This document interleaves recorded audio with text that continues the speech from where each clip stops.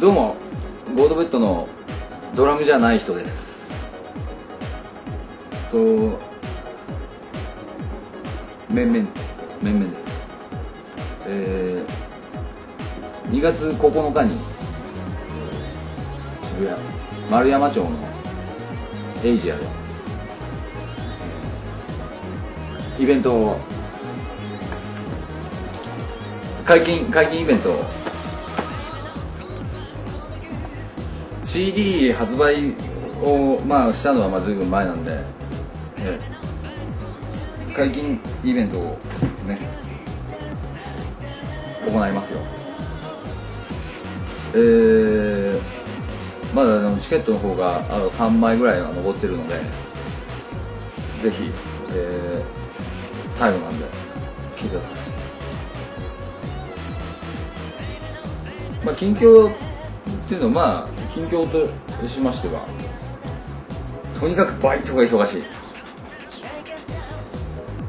3人でコンピューターのエンジニアをやってるんですけど非常に仕事が忙しいですね。いいですか？そうですね。最近今日は。最近はなかなかあれですね。金回りも良くなってそうなんですそうなんですよ。月にまあ30から40はね中ちゃんは先月60ぐらい稼いだんですよ。それでえっとなんか上板橋上板橋？上板橋に引っ越すですよね。今練馬に住んでるんですけど。上板橋でなんか30何平米かの家に引っ越すっていうらしいですよ。ね俺ら貯金もう60万円だあちょっとあの私事で申し訳ないんですがちょっと孫さんのおじいさんがこの間亡くなりまして。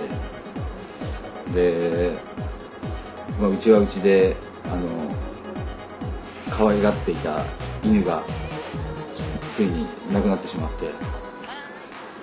でまあ中ちゃんは中ちゃんのお母さんはホタテのことをホタテって言うんです。ホタテ。いちごホタテ。電車。